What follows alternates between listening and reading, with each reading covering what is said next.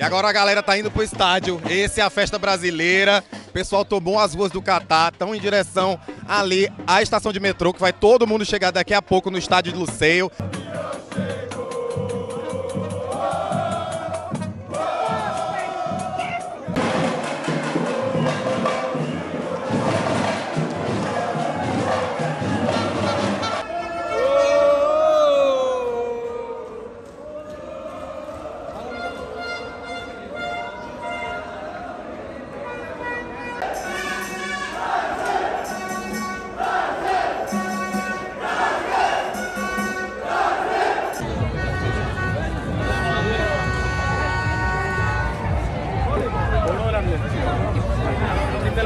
E agora a gente está aqui no estádio de Luceio para finalmente ver o Brasil estrear na Copa do Mundo do Catar. A Argentina jogou aqui na segunda-feira, na terça, se não me engano, perdeu para a Arábia Saudita, já considerado um dos resultados mais surpreendentes das histórias de todas as Copas.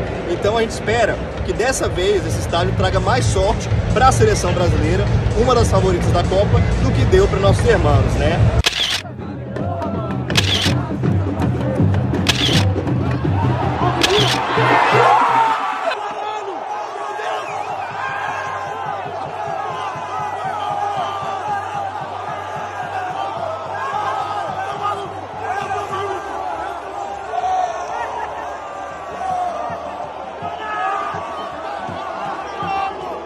Bom, gente, acabou de terminar Brasil 2, Sérvia 0, estreia da seleção brasileira.